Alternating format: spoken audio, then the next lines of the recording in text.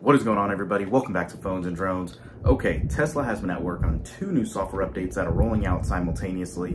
One is a 2022.20 update and another is a 2022.24 point release as well. Now what's interesting about these are you are actually getting a couple new features one that has been kind of highly recommended and requested, and that is the ability to move your uh, repeating camera. So when you have your turn signals on, that repeater that shows up on the bottom right hand side of your screen now can be moved in two other locations, that being on the top right or top left.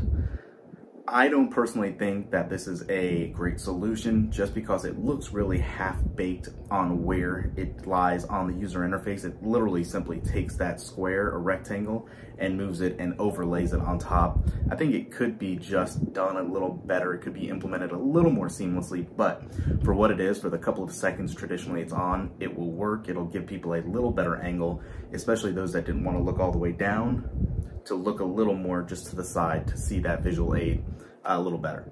So having said that, Not a Tesla app again, as usual, is on point and has a list of all the new uh, release notes and all that. Let's go ahead and take a quick look at these. Let me know what you guys think in the comments down below. Thumbs up this video really helps guys. And let's jump right into it. As you guys can see, we're on notateslaapp.com and let's jump right into 2022.24.5.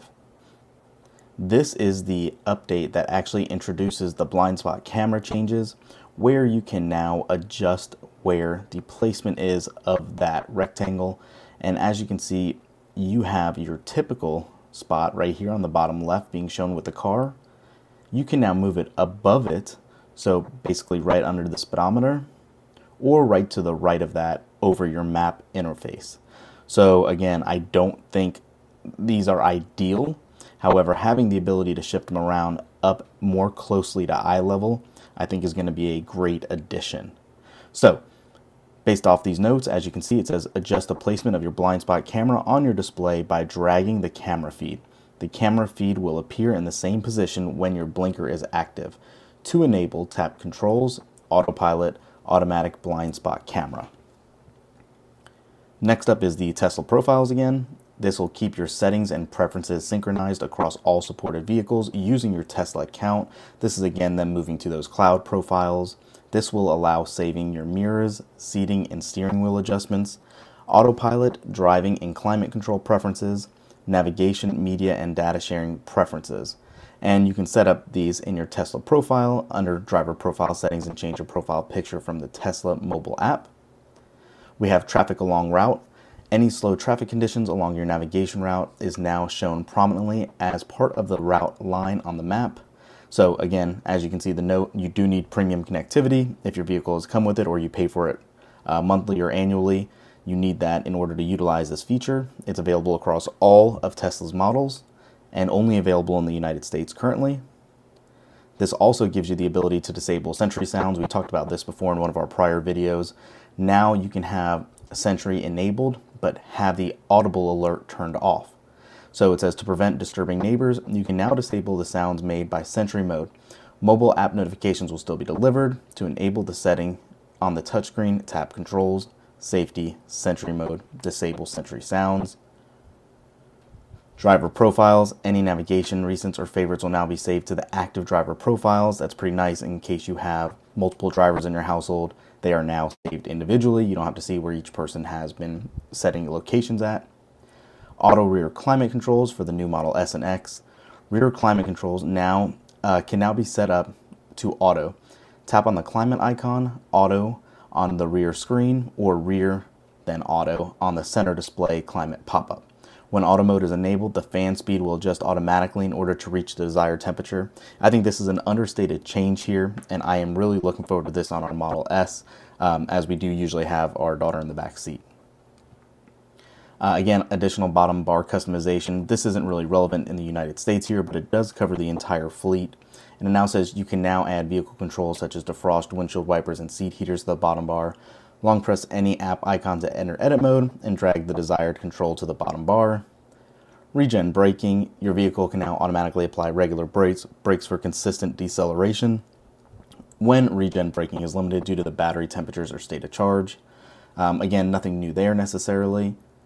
This is an undocumented change where it says deep GPS directions. When the vehicle's navigation is active and the maps are covered with another app, the next step in the directions will now be shown at the top left corner of the screen instead of the bottom left corner. So as you can see in the picture here, it is actually right in the center, right to the right of your current speed limit and the speed limit sign that it read on the road.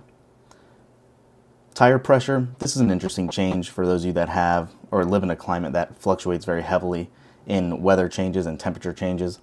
Now tire pressure data will only be set when the wheels are in motion.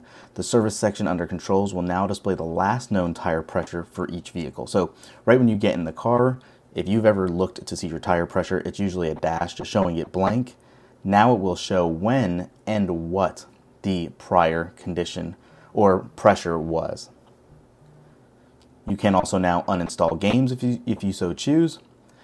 So you can now uninstall individual games, freeing up space in the vehicle's internal drive. In addition to uninstalling games, you can also view the size of each game and which drive they're installed on. So you can kind of see here the install size and what drive. Turn signals. This has obviously been moved up a little bit right to where the drive select or the um, shift selector was. It now shows the arrow here instead of where it prior was down below that in order to create room for the blind spot camera. And that is all for this version of 2022.24.5. Moving back though, however, we did have that .9 release now, which is 2022.20.9, and it carries a couple of different features. So for this, you can see you have speed assist, and it says your vehicle uh, is now running Tesla Vision.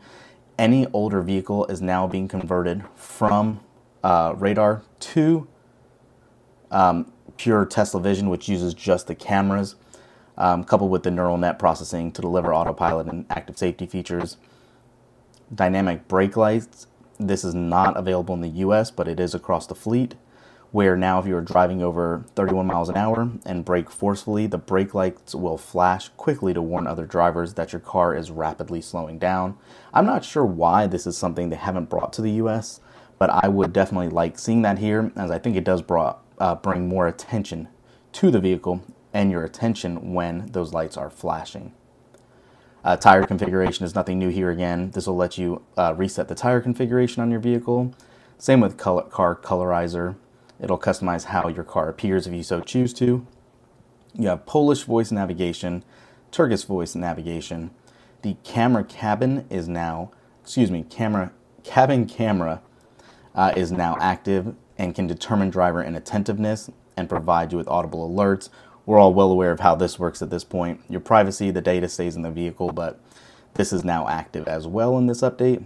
Same with the cabin camera on your Model S and X. You do have speed assist updates where it now leverages your car's camera to detect, to detect speed limit signs. We've had this quite a bit in the US, so this isn't relevant here but outside countries, it can now read signs that are kind of built a little different than what we have here in the States. And then online radio, your internet radio service provider has been switched to either Real Sound. I'm not sure if I'm pronouncing that right, but this will provide an improved selection of radio stations and content for your drive. And again, something else not in the US uh, Sentry mode changes, seatbelt enhancements, Tesla adaptive suspension, and that green light traffic chime. Uh, these again all have been announced in a prior version, but it is still uh, carrying over in this dot release as well. You do obviously get these energy improve prediction improvements as well, a new update to the Bluetooth menu, and HomeLink buttons that have changed a little bit. I actually haven't seen this on my uh, Model S that has HomeLink. My Model 3 does not. Um, but everything else that was actually listed here, same with battery at arrival, and obviously regen braking are all uh, in prior dot releases as well. So we're not going to jump into those too much. You can pause the video and read those if you need. But that is a lot of the update for these two new versions that are being pushed out. So let me know what you guys think. What's your most exciting aspect of these updates? Are you really thrilled about uh, the new update for 2022.24 that shows that you can move the blind spot camera? Let us know. Thanks for watching, guys. We'll catch you in the next one. Peace.